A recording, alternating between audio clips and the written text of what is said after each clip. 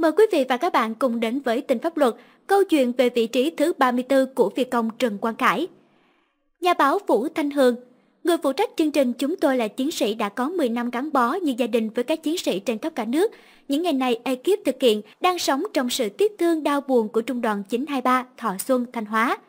Chị Hương chia sẻ ngày 21 tháng 6, chương trình đã ghi hình tại trường sĩ quan không quân Nha Trang. Nơi đây Thượng tá Trần Quang Khải và 9 chiến sĩ không quân trong tổ bay CASA 212 đã học tập và trưởng thành.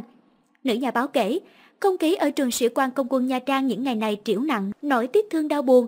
Chúng tôi có phần bối rối bởi ekip của nhà đài đến là để ghi hình cho một chương trình mang tính giải trí. Thế vậy, những sĩ quan và học viên của trường đã nói, hãy cứ ghi hình.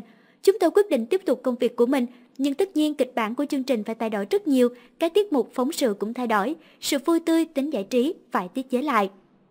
Khi chương trình đang ghi hình, trời Nha Trang bỗng đổ mưa như trút, theo nhà báo Vũ Thanh Hương. Những người lính vòng không công quân họ rất giỏi nhìn trời, đoán thời tiết, chỉ nheo mắt lên nhìn, họ có thể biết được trời sẽ mưa hay nắng. Nhưng khi chúng tôi đang ghi hình ở Nha Trang, trời đang nắng gắt, bỗng đổ mưa bất ngờ. Đúng vào thời điểm ấy ở Nghệ An, anh Khải được đưa vào đất liền. Chúng tôi nói với nhau, trời cũng khóc đấy.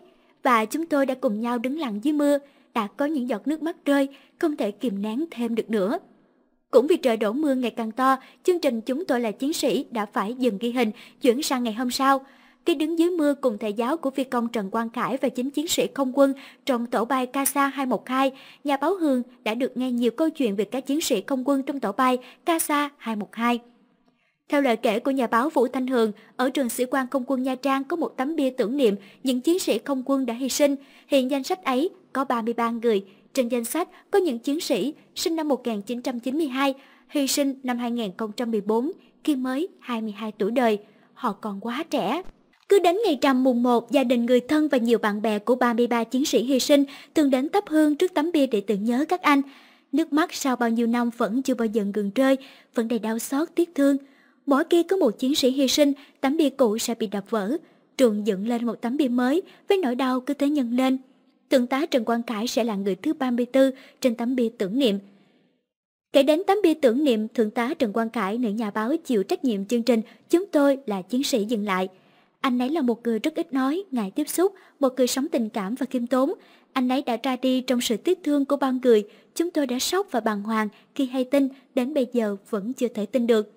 Ba năm trước, nhà báo Vũ Thanh Hường và ekip sản xuất chương trình Chúng tôi là chiến sĩ đã từng ghi hình tại Trung đoàn 923 ở Thọ Xuân, Thanh Hóa. Nhiều chiến sĩ trong nhóm 9 người trong tổ bay CASA 212 đã tham gia các tiết mục trong chương trình.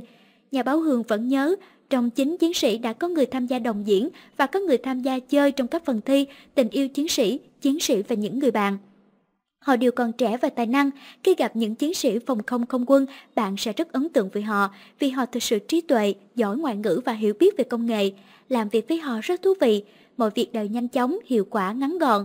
Chưa kể họ còn là những siêu mẫu đúng nghĩa, chiều cao 1m85, khỏe khoắn, họ rất đẹp. Đến mỗi đơn vị ghi hình nhà báo Vũ Thanh Hường đều ấn tượng cuộc sống quân ngũ với kỷ luật nghiêm ngặt. Với các chiến sĩ phòng không không quân, ekip sản xuất chúng tôi là chiến sĩ từng kinh ngạc trước suất ăn của họ. Ở trung đoàn 923, ekip của nhà đài được yêu cầu phải ăn hết suất ăn, không được bỏ thừa vì họ có cả khẩu hiệu với nội dung rằng nếu để thừa thức ăn là có tội với nhân dân.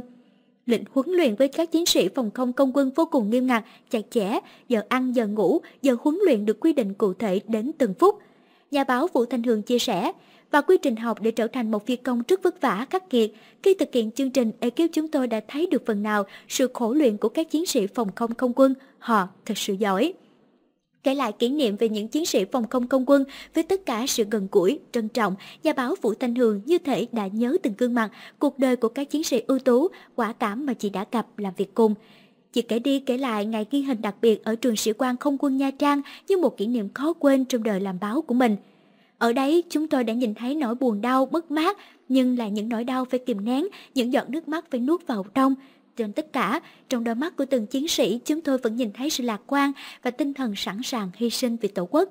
Đi qua nỗi đau, vượt lên trên mất mát, những chiếc máy bay huấn luyện lại cất cánh và bay cao giữa bầu trời Tổ quốc. Nói như người phụ trách chương trình, chúng tôi là chiến sĩ, những chiến sĩ không quân, họ đẹp vô cùng.